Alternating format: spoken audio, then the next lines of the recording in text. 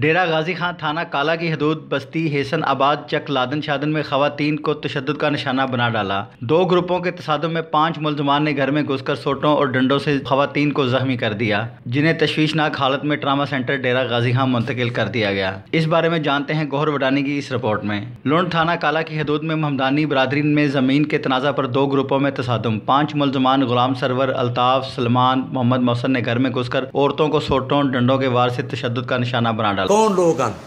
ਇਹ ਵਾਲੇ ਹਨ ਨਾਂ ਤਾਂ ਉਸੇ ਕਹਿੰਦਾ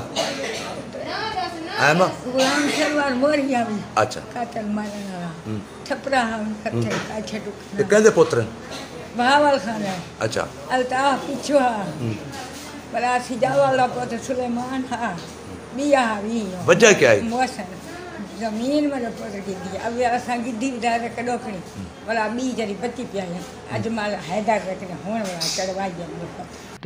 हालत में rescue one one two two ने ट्रामा सेंटर डेरा गाजी खान अस्पताल मुंतकिल कर दिया मुकामी पुलिस मुलजमान से साजबाज हो गई अब तक मुलजमान के खिलाफ कार्रवाई ना की और मुलजमान की गिरफ्तारी अमल में ना लाई जा सकी